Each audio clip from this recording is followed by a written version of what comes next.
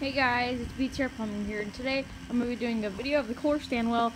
And something funny, since it's blowout, the pipe, there's no bends, it goes straight. And what happened is, see, this box, I have it here for a reason. Because when I flushed it, it sprayed water like directly out. I'll show you. Let me turn the pressure down. I mean, it's hilarious. So I'll show you guys um, that. And I turned up the pressure a lot and then actually swirls, but watch when I flush it. See, it'll spray out the back and it's flushing. And see, now it's weak because the flushometer is closing. But see, this is a toilet flushometer, not a urinal flushometer. So actually what it's doing, it's not flushing still. It's slowly closing to let the water refill the bowl. But since this is a urinal, it's different. But as you guys saw, that sprayed everywhere. And that's why it's all soaked over here and like on the wall. I don't know if you can see it's all wet. That's, that's why I put this box here. And even the box doesn't stop it. It's, instead of the box, instead of spraying out, it'll spray straight up, which you guys can see. I'll show you that um, after this, but I haven't turned this thing pressure all the way up, but it's really cool because when you turn the pressure up enough, it'll swirl inside the bowl. But let me just check the tank here. Um, yeah, I'm gonna let it fill for a little bit longer.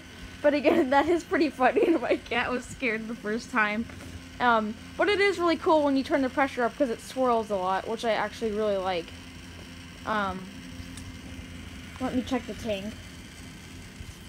Okay, this should be enough for a flush, but here we go. Whoa! See? Now it's, um, let's see. It's still trying to flush a little bit because, again, this is a toilet flushometer on a urinal, but as you can see, even the box doesn't stop it. It'll go spray up straight up in the air, and it's kind of like a fountain now. Everything's all wet. Um, I could probably try fixing it. Let me see if I put this here. Um, that pressure wasn't all the way up. Once it's all the way up, it will, um, let's see. Once the pressure's all the way up, it'll start swirling. Yeah, I don't think I can fix this problem. And see, I'm going to put pipes on it because I can't have it spray anything like that, which this is actually really funny and I didn't know it would do that. But I guess I should have thought because the pipe, like if I put my finger in the trapway, I can make it come out the other end because like I said, it's just one straight pipe. So, um, yeah, I'll do another flush. Let me just turn the power up a little bit more and let's see if I can get this thing to swirl because this swirl is actually really cool looking. Let's see. Okay, now it should swirl. Let me just check the tank. Again, see, I don't know if that's going to hold or not. It, I'm going to flush it and stand back like this because I don't know if it's going to spray up or not. Um, and the only reason I don't have my tripod is because it's on the grass and because if it sprays, it's kind of hard to move and everything. But uh, let me check the tank. Alright, even though it looks wobbly, it's because it's on a plastic container. But it should be fine, so, um, yeah, let's give it a flush. Okay, it starts to swirl. There it goes.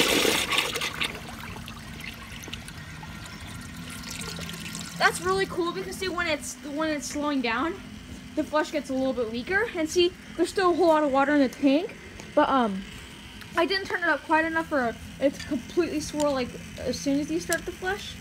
But again, that's actually it's actually really cool how it flushes. And once I get the actual, you know, spud for this, this is the Allbrook spud, but um, that time it didn't spray up, so I'm not too worried about it anymore. But um, again, see, I have this pipe Someone wanted me to bucket flush it, but there's no point because it's blowout. But if I put this pipe on the back, maybe it'll uh, be like kind of like a trap, a half of a trap way. So it might siphon out. I don't know, but um, yeah, the tank should be full enough. I just, since I have the pressure all the way completely turned up now, I want the tank to be completely full for the best flush. But um, yeah, this is crazy. I mean, it sprayed everything, so. The tank should be full enough, so let's see if it'll swirl.